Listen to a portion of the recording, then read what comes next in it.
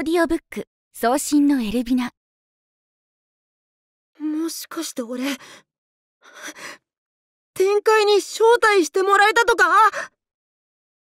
自宅から突然未知の世界に迷い込んだのも女神からの招待だと考えれば納得できる。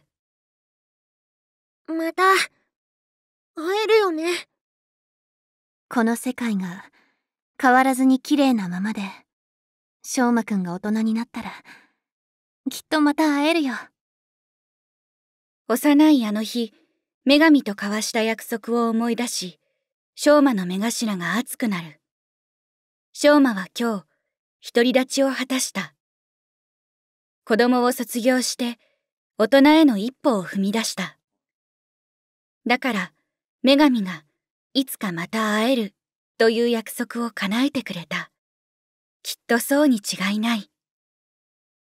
展開に迎えに行く。という昌馬個人の願いとは少し違う形になってしまったがこれから彼女を探して会いに行けば同じことだ。ここは展開のはずだ。昌馬が一日たりとも欠かさず無双した女神の住まう楽園のはずだ。しかしなんか思ってたのと違う。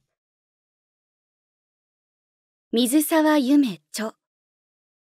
朗読竹内恵美子。宮田幸喜。赤崎千夏。石井美沙。藤井隼人。ランズベリー・アーサー。日枝ねね世界を超えた少年と女神の恋と戦いの物語。その女神たちは美しくそしてやばい。今ここに女神大戦の幕が上がる。オーディオブック送信のエルビナ。各オーディオブック配信ストアにて販売中。